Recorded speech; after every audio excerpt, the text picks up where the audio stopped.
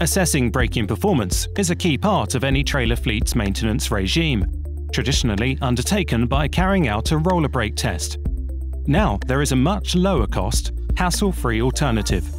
TIP has introduced its own EBPMS under the Brake Plus name. Brake Plus not only improves compliance and safety, but it also delivers significant cost savings to its users. As part of the TIP Insight Fleet Connected range of services, Brake Plus is quick and simple to access through an intuitive, user-friendly interface. Brake Plus captures brake events from the electronic braking systems of your trailer fleet as they go about their normal operation. Offering a full fleet overview, Brake Plus calculates a braking performance value, presenting a simple pass or fail for each trailer in the fleet, in line with DVSA's guidelines. Further analysis reveals more helpful information on braking performance, as well as a detailed breakdown of actual braking events.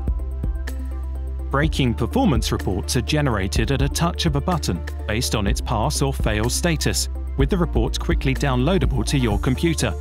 You don't even need to log into the system, as you will also be notified by email should Brake Plus indicate an underperforming braking system and a comprehensive fleet history of previous reports is also available should it be needed.